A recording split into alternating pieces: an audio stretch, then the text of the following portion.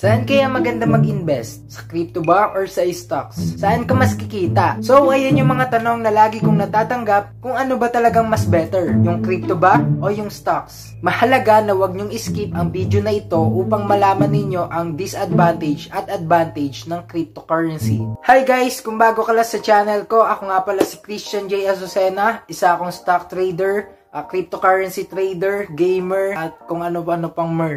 At sa video na ito, tatalakayin natin kung ano nga ba ang 3 disadvantage at advantage ng cryptocurrency. Disclaimer lang guys, sa video na ito, hindi ko sinasabi na ito ang piliin nyo or ito ang piliin nyo. Ang video na ito ay magsisilbing gabay sa inyo kung saan kayo mag invest So, number 1, mas volatile ang cryptocurrency market. So, ano naman ang advantage kapag mas mataas ang volatility ng isang market? Una, kung day trader ka or sabihin na nating intraday trader ka, pwede mong laruin yung volatility ng mga coins na yon. Ibig sabihin, pwede mong laruin yung galaw ng market within that day. Magkakaiba kasi tayo ng risk and trading profile. Yung ibang tao naman, ang profile nila is for investor. In intraday trading, pwede kang kumita ng 1% up to 3% per day. Hindi ko sinasabing hindi volatile ang stock market. Volatile din siya dahil sa stock market may tinatawag tayong mga penny stocks o yung mga mumurahin na stocks. Yung mga penny stocks na yon, eh volatile din sila.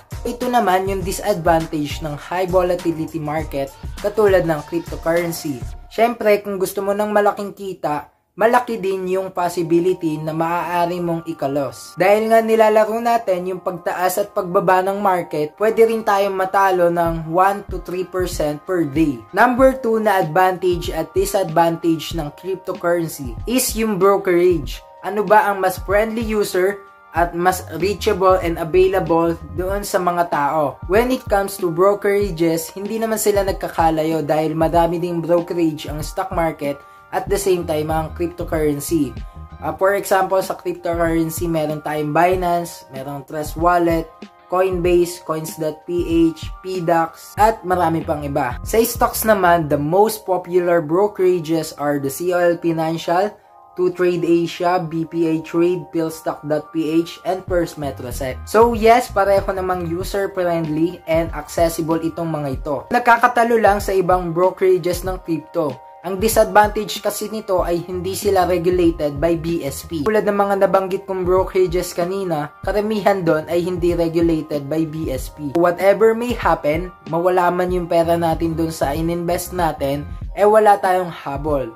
Pero may habol tayo doon sa mismong brokerage. Sana guys maliwanag yon para alam natin muna kung paano natin isa-secured yung ating perang pinaghirapan. This is the third one. Ito talaga yung common and biggest factor or biggest issue na pinag-uusapan when it comes to investing or trading. Magkano ba ang perang ilalagay ko dyan? Masakit ba sa bulsa yan? Naku, baka sobrang laki naman ng kailangan kong kapital dyan. Wala akong ganun pera. So yun guys, pag-uusapan natin yung funding o kung gaanong kalaking pera ang i-invest natin. So bibigyan ko muna kayo ng konting history. Alam nyo ba o naririnig nyo din ba yung malaking misconception sa pag-invest sa stock market? Katulad ng, ay, kailangan ko ata ng sobrang laking kapital para makapagsimula. O kaya naman yung mga mayayaman lang yung nakakapag-invest doon.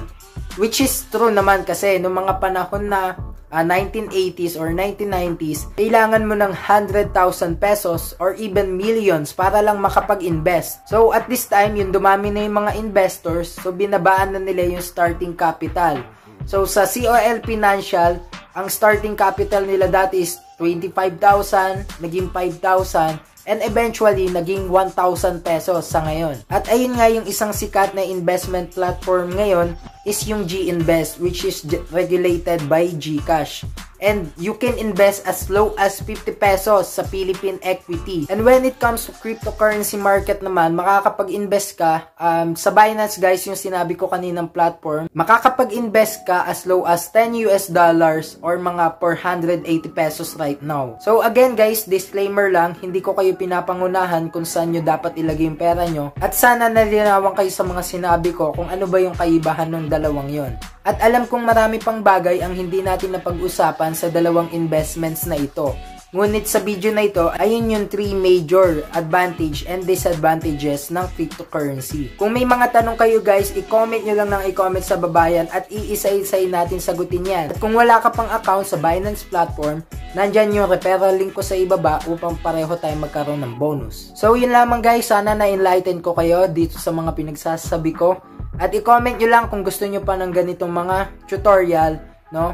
Kasi gagawa na din ako ng mga investment review na kung saan para makatulong ako at maka-inspire ng iba pang mga millennials o mga kabataan na katulad ko. Dahil naniniwala din ako na investing and entrepreneurship ang pag-asa ng bansa natin. Thank you guys. God bless. You on my next vlog.